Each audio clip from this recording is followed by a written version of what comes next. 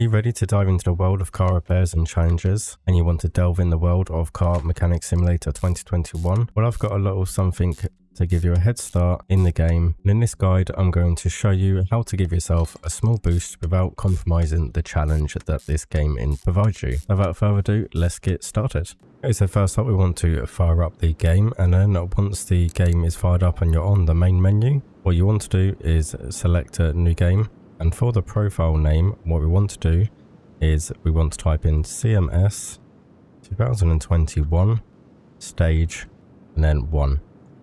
And that is the code here. This will activate the secret code. So once we press enter and go on to continue, we can just select whatever mode we're going to go for. We'll select for normal. Now, when you hit the tutorial pop-up that comes up here, you want to make sure you select deny. And you want to do this to avoid any potential game crashes. And we all have to think about safety first, don't we? So we're going to click on deny and that will load us into the game. Okay, and here we are. We have now started a new game. And as you can see in the top right hand corner, you will notice that the code has granted us to start at level 5 and we have 8,000 credits instead of the usual 4,000 credits. Now that extra cash will give you a nice little boost to start off the game. Now as you may or may not know, once you level up you do get skill points and we just want to head over to a toolbox just here. And as you can see that we have five available skill points. The five upgrades that I do recommend spending your skill points on. You want this one here in column number five and this gives you a 5% discount on parts you buy. So I do recommend buying that one first. And then want to head to the third column here where we have fast hands and that increases the screwing speed by 10%. And as you can see, the faster the screwing speed, the quicker you can get stuff removed and put back into place.